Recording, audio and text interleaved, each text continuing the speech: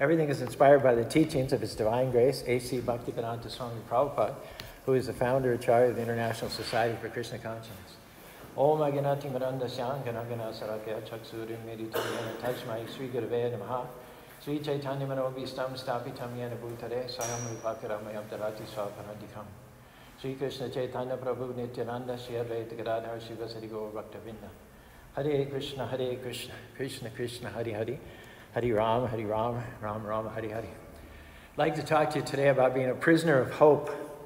We all have situations that don't look like they're going to work out. We don't see how we can get well. We don't see how we can get through this pandemic, how we can accomplish a dream, how our family will be restored. All the indications say it's not going to happen. Hope is an antidote to that negative kind of thinking. Overflowing hope, being a prisoner of hope, connects you to the supernatural power of Krishna. In the Bhagavad Gita, the Song of God, the narrator describes Krishna, Yatra Yogeshwara Krishna Yata Partha Danodara. Yogeshwara means the master of all mystic powers. It means not natural powers, but supernatural powers. Now, it's one thing to have hope, but you are truly empowered, truly connected with the supreme mystic when you overflow with hope, when you're a prisoner of hope. When you overflow with hope, you're not moved by what the circumstances look like. You're not discouraged because it hasn't happened yet. You're not worried because you don't see a way. Why? You know, Krishna, which is our name for God, is on the throne. You know that God is ordering your steps. You know that God's plans for you are good and not for evil. The odds may be against you, but you don't stop believing. You don't see a way, but you keep on thanking that Krishna has a way. People tell you it's not going to happen. Well, you just let that go in one ear and out the other. I heard a beautiful story about a king who decided to set aside a special day to honor his greatest subject. When the big day arrived, there was a large gathering in the palace courtyard. Four finalists were brought forward. From these four, the king would select a winner. The first person was a wealthy philanthropist. The king was told that this man was highly deserving of honor because of his humanitarian efforts. He had given much of his wealth to the poor. The second person was a celebrated physician. The king was told that this doctor was highly deserving of the honor because he had rendered faithful and dedicated service to the sick for his whole career. The third person was a distinguished judge. The king was told that the judge was worthy because he was noted for his wisdom, his fairness, and his brilliant decisions. The fourth person presented was an elderly woman. Everyone was surprised to see her there. Her manner was quite humble. She dressed very unpretentiously. She hardly looked the part of someone who would be honored as the greatest subject in the kingdom. What chance could she possibly have when compared to the other three who had accomplished so much? Even so, there was something about the look of love in her face, the understanding in her eyes, the quiet confidence. The king was obviously intrigued, somewhat puzzled by her presence. He asked who she was. The answer came. You see, the philanthropist, the doctor, and the judge, well, she was their teacher. What makes a good teacher is an abiding, overflowing of hope for the potential of their students. Teachers start a work in their students, parents start a work in their children. Inevitably, they have to let them go, but with an overflowing hope that they will achieve all that they were created to achieve. The best teachers know that what Krishna or God started, he's going to finish. Prabhupada, our spiritual master, brought the practice of cleansing the heart with the chanting of God's holy names called kirtan to the Western world. He arrived in New York City in 1965. He had no resources, no money, not even a place to stay. There were no Brahmins from India to help him train the local boys and girls there in the lower east side of New York in the moods and melodies of kirtan? If there had been, they would have most likely been appalled at the drug induced hippies chanting and dancing in Prabhupada's kirtans. The kirtan of these hippies was very different from the traditional chanting of Indian Brahmins. Prabhupada didn't mind. His standard was devotion. In his little storefront Radha Krishna temple, whatever he accepted, Krishna accepted. This was his offering to Krishna through his spiritual master, Bhakti Siddhanta Saraswati. In spite of no money, no place to stay, no very high class disciples, no help from India, Prabhupada was overflowing with hope for his mission. In one of our scriptures called the Bhakti Sandarbha, text 298, it says, Yata kanchanam yati kam samrasha vidhanata tata vidhe dinanina dvijatbam jayatenanam. Just as through alchemy, by chemical manipulation, bell metal is turned into gold when it's touched with mercury. Similarly, when a person is properly trained and initiated by a bona fide spiritual master, he or she can acquire all the good qualities of the saintly Brahmins. So even if Prabhupada's young devotees and followers didn't know how to play harmonium or keyboard or the mridanga, even if they didn't know that the kirtan is a call and response process, they would all chant it in unison. Even though they didn't know how to offer respects to the guru, still, just because they were chanting and dancing, Prabhupada would nod to them encouragingly. Yes, you're doing good. Go on, go on. And by his approving, encouraging nods, he was infecting them with his own overflowing of hope. Well, Caru, I hope I get well. I've been sick for so long. I hope my business can make it through this pandemic. I hope I meet the right person. All my friends are married. That's all good, that kind of hope. That's better than being negative. But when you overflow with hope, when you're a prisoner of hope, you take it one step further. Instead of, I hope I get well, I know I'll get well. I know Krishna is restoring health back unto me.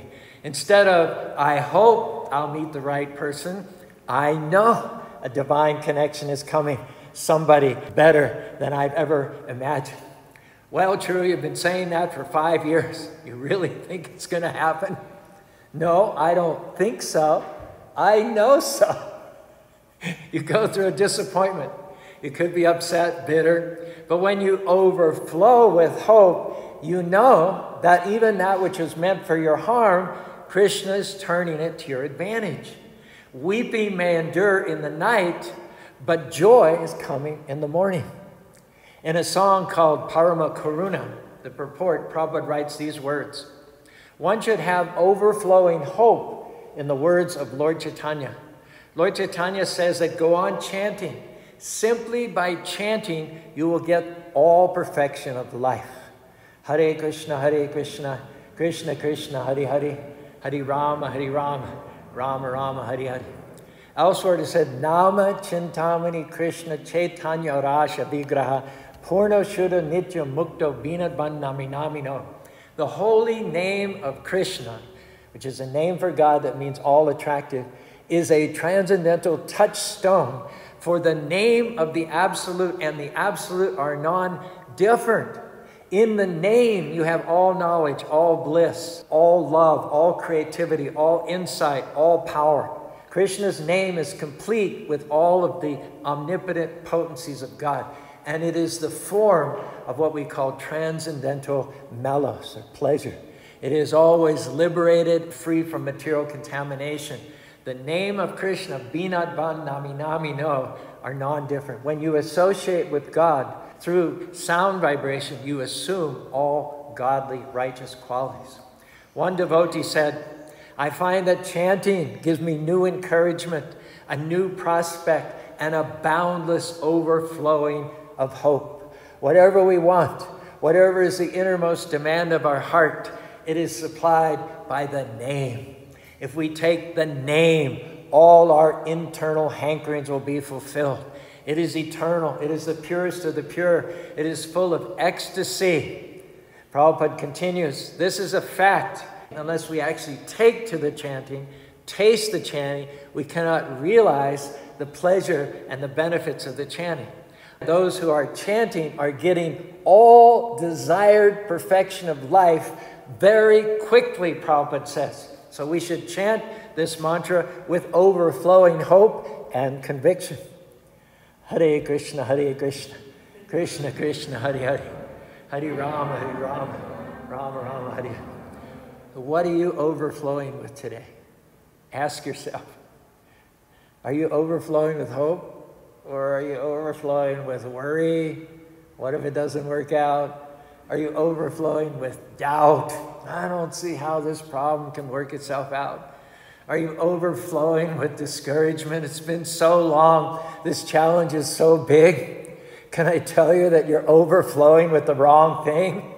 If you'll start overflowing with hope, believing despite what it looks like, thanking Krishna even when we could be complaining, expecting things to change in your favor, then you're going to see Krishna or God show up and show out in your life. In the biography of Prabhupada, it says here that in Prabhupada's early kirtans, wild elements were there, of course, peoples whose minds and intentions were far away in some chemically induced fantasy. Remember, this is 1965 in the East Village of New York and later on in the Haight Ashbury. Yet, the mood was dominated by Srila Prabhupada's followers who danced with arms upraised and watched their leader carefully. Although in many ways they were still like hippies, they were Swamiji's disciples and they wanted to please him and follow his instructions. They wanted what he had. They wanted to attain Krishna consciousness. For all the weirdness and aberrations, for all the varied punctuation of horns and hand cymbals, the kirtan, nevertheless, though untraditional and in some ways bizarre, always sounded very, very sweet. There's a plaque on the tree, the elm tree, in Tompkins Square Park, where Prabhupada first sat down and chanted with his disciples. I'll read you the words of this plaque installed by the mayor of New York at the time. One of Tompkins Square Park's most prominent features is its collection of venerable elm, the Latin is Ulmus americana, trees. One elm in particular, located next to the semicircle arrangement of benches in the park's center, is important to adherents of the Hare Krishna religion. After coming to the United States in September 1965, A.C. Bhaktivedanta Swami, the Indian spiritual leader, founded the International Society for Krishna Consciousness in New York. He worked from a storefront on nearby 2nd Avenue that he used as the Society's American headquarters. Prabhupada and his disciples gathered in Tompkins Square Park in the fall of 1966 to introduce the East Village to the group's distinctive 16 word mantra Hare Krishna, Hare Krishna, Krishna Krishna, Hare Hare. Hari Rama, Hari Rama, Rama Rama, Hari Hari. And I'll just share one more short paragraph with you.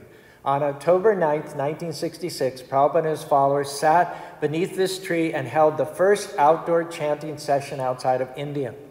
Participants chanted for two hours as they danced and played cymbals, tambourines, and other percussive instruments. The event is recognized as the founder of the Hare Krishna religion in the United States. Prabhupada's diverse group that day included beat poet Allen Ginsberg, Krishna adherents continue to return to the tree to acknowledge its significance. Srila Prabhupada knew that some aspects of the kirtan were wrong or below standard, but he accepted the offering and not awkwardly, not as if it was embarrassing him and his culture, but lovingly. He just wanted these American boys and girls to chant, that they dressed irregularly, that they danced spastically or had the wrong philosophy didn't concern him. The boys and girls were chanting Hare Krishna.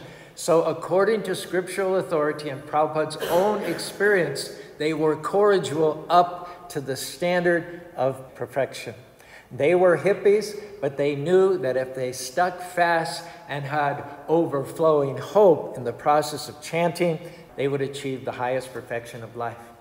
The Bhagavad Gita, the Song of God, talks about our being fully persuaded that Krishna will do what he promised. Now, it's one thing to be persuaded, but when you're fully persuaded, you're not going to change your mind. You're not going to let people talk you out of it. You're not going to let circumstances cause you to quit chanting. Problems that look temporary from the perspective of a chanter, of a devotee, they're only temporary. One expert said, You will never get well, but who chants knows that God has the final say.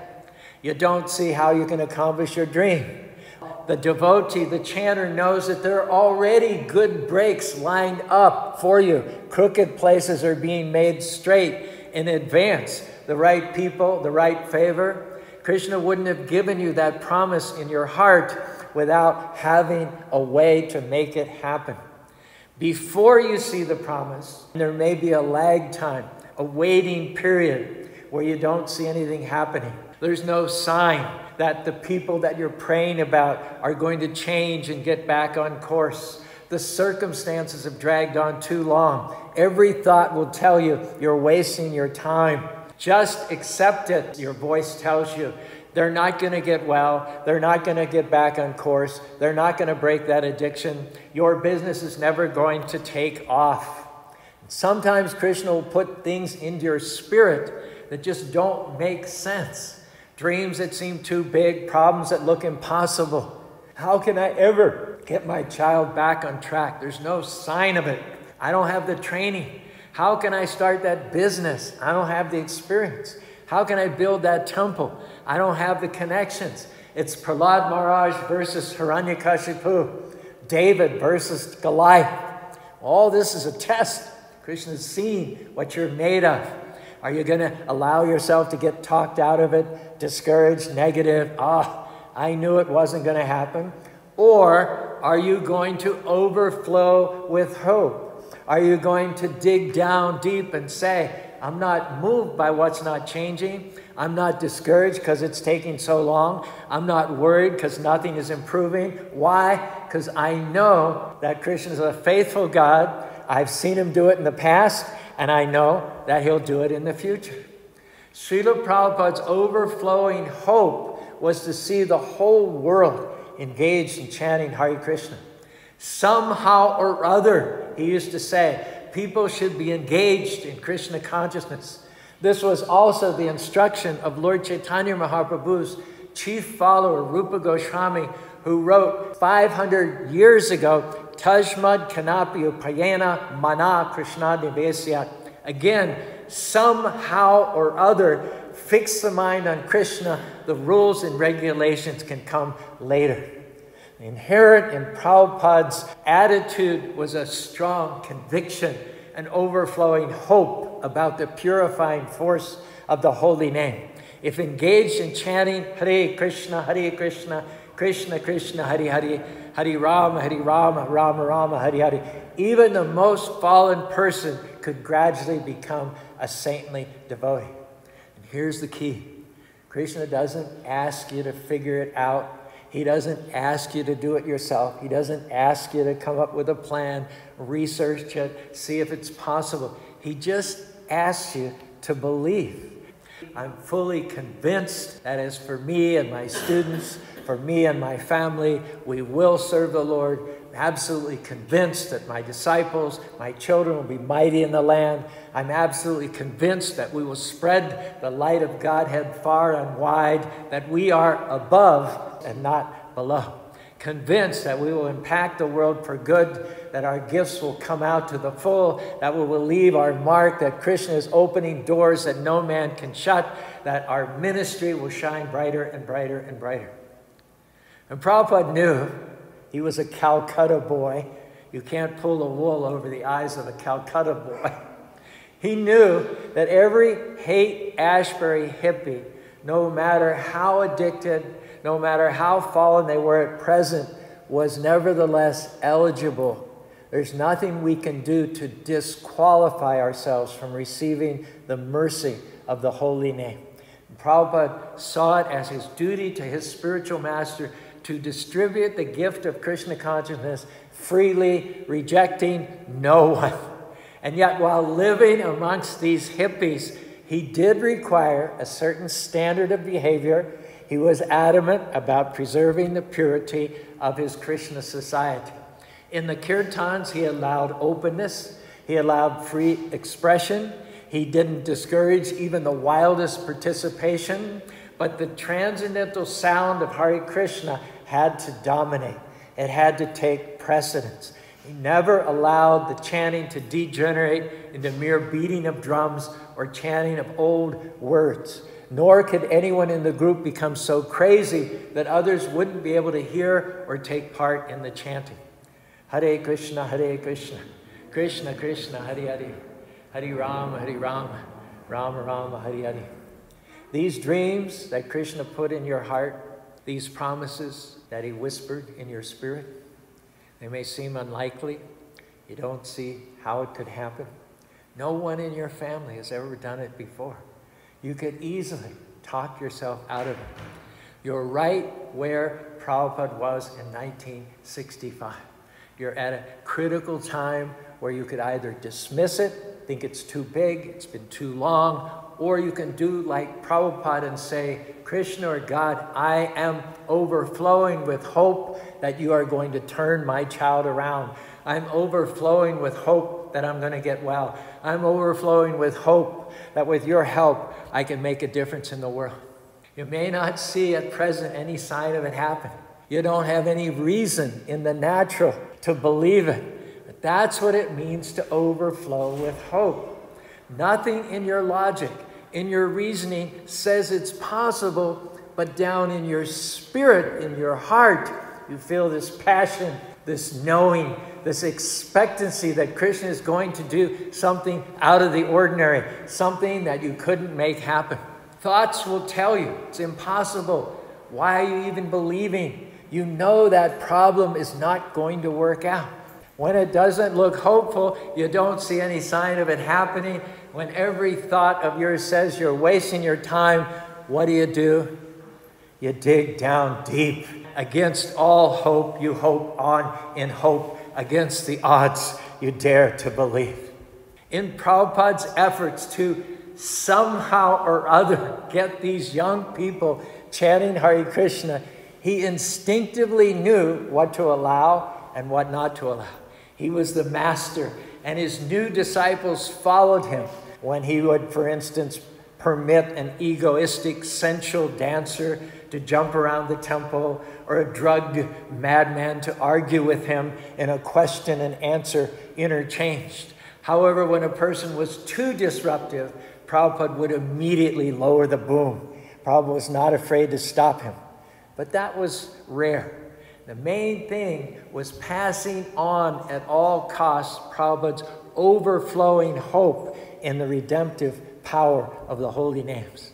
What is it that you're overflowing with hope about today? It's not just enough to hope. You have to have an overflow of hope, a made up mind if you want to see it happen. I will get well. I will beat this depression. I will come out of debt. I will accomplish my dreams. When the medical report says you're not going to get well, what do you do? You hope on in faith. That's one report, but Krishna has another report.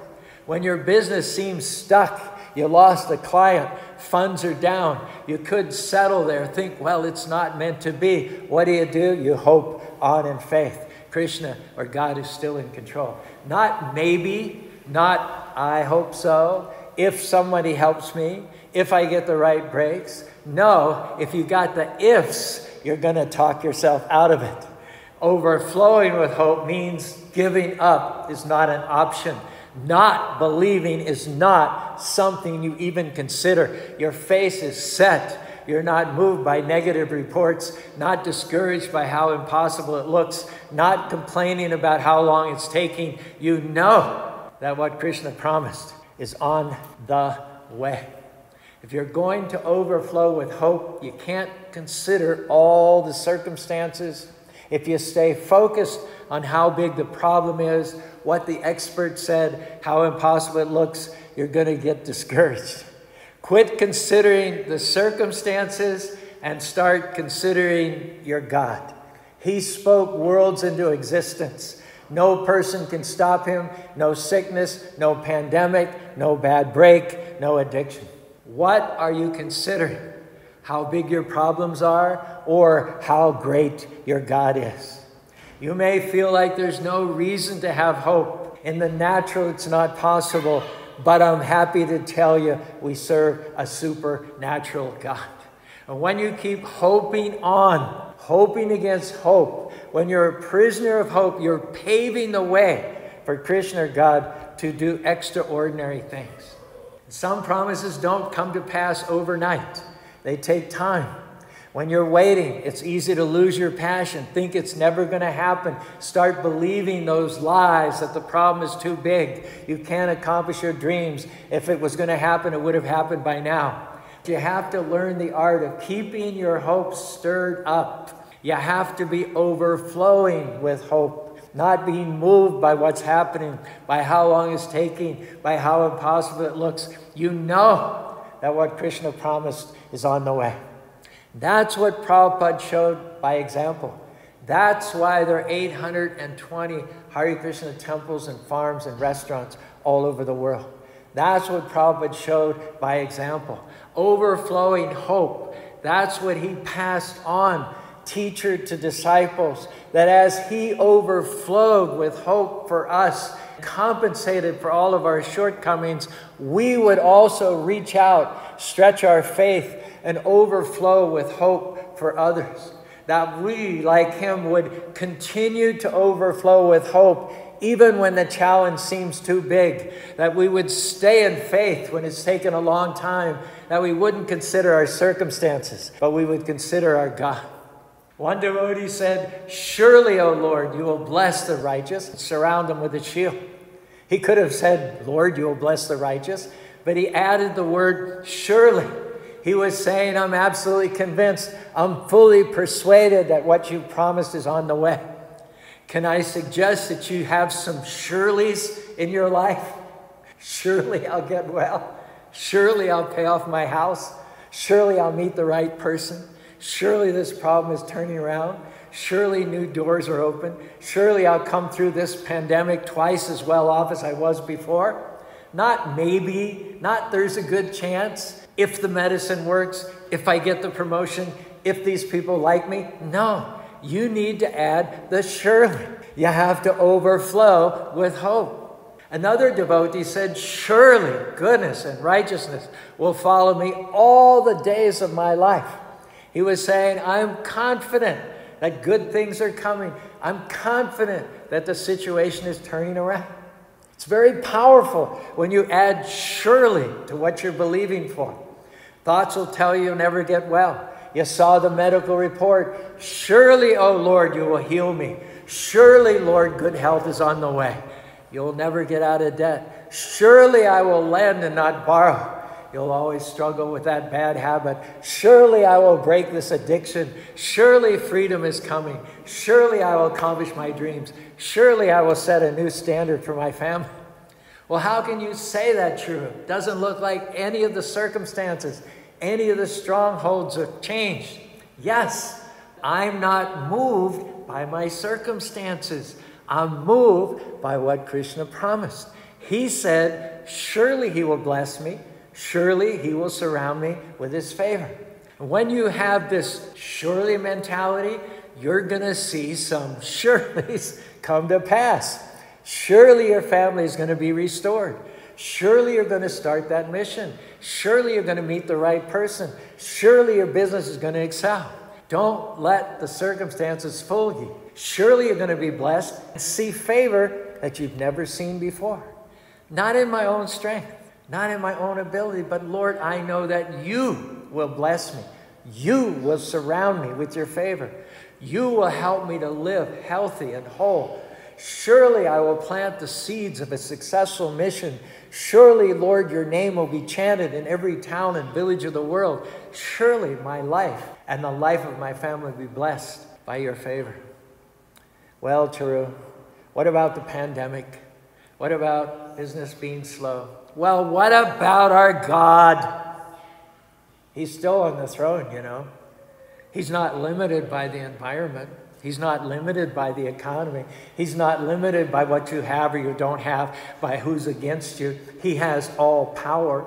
He controls the universe. Aham sarvasya prabhavo mata sarvam pravartate. I am a source of everything. From me, all things come. Now, the good news is that all powerful Lord is on the side of his devotees. His breath is behind the sails of those who put him first place and chant his holy names. Hare Krishna, Hare Krishna, Krishna Krishna, Hare Hare, Hare Rama, Hare Rama, Rama Rama, Hare Hare. We chant being confident of Krishna's special concern for his devotees. That means have no doubt. Lord has his devotees in the palm of his hand. What Krishna started with them, he will finish. What he promised will come to pass. Have this surely mentality, made up mind, not moved by the circumstances, by how long it's taking, by what's not changing. Why? Because you know that Krishna is a surely God. Surely he will bless me. Surely he will do what he said. It's easy to doubt in this day and age. In this day and age, it's easy to get talked out of your dreams. Would you agree with me? Doubters are a dime a dozen. Negative people, 99.9% of the population. Discouraged people, they're the standard. They're everywhere. But Krishna is looking for people who are overflowing with hope, who have a made up mind, people that are absolutely convinced. You may have challenges coming against you right now. You could overflow with worry, with discouragement, with self pity, but look at you. You're starting to overflow with hope. You're thinking of thanking Krishna when you could be complaining. You're going to be good to people when they're not being good to you. You're believing when you don't see anything changing. You're talking victory, declaring Krishna's promises. You have a song of praise. You rise early in the morning and you honor the Lord by chanting his holy names. Hare Krishna, Hare Krishna, Krishna Krishna, Hare Hare, Hare Rama, Hare Rama, Rama Rama, Hare Hare. You need to get ready. Instead of overflowing with trouble, overflowing with sickness, overflowing with bad breaks, you are about to overflow with favor, overflow with healing, with abundance, with freedom. Hare Krishna. And because the devotees, those who keep God first place, are characterized by overflowing with hope, Surely Krishna is going to bless them, their children, their students. Surely Krishna is going to turn their problems around. Surely they're about to see something they've never seen, something out of the ordinary, something unusual that thrusts them to a whole new level. Now, our encouragement is get up every morning with a surely mentality. Surely, Lord, you'll bless me. Surely goodness and mercy will follow me. That's not being arrogant. That's overflowing with hope. That's what Prabhupada did. Surely, O Lord, what you promised. The names of the Lord will resonate in every town and village of the world. Surely, Lord, you will bless your devotees. Surely you will surround them with favor. Are you looking at how big your obstacles are? Or are you looking at how big your God is? Your situation may seem impossible, like it would never work out, but one touch of Krishna's favor one encounter, one good break, one phone call, one healing, one meeting the right person, and everything can turn around 180 degrees. In life, let me tell you, you're going to overflow with something worry, doubt, stress. Why don't you decide to overflow instead with hope? Why don't you believe that surely goodness, righteousness, mercy are following me? Why don't you be fully persuaded what Krishna has promised is on the way? Have a new perspective. Surely, O Lord, you will do what promised. I am confident that what you started, you'll finish. I believe that if you will overflow with hope, like with Prabhupada, promises that look impossible are going to come to pass. Blessings are going to chase you down. Healing is coming, breakthroughs, freedom, abundance, the fullness of your destiny in this life and next life. You go back to home, back to Godhead. Hare Krishna, Hare Krishna, Krishna Krishna, Hare Hare, Hare Rama, Hare Rama, Rama Rama, Hare Hare.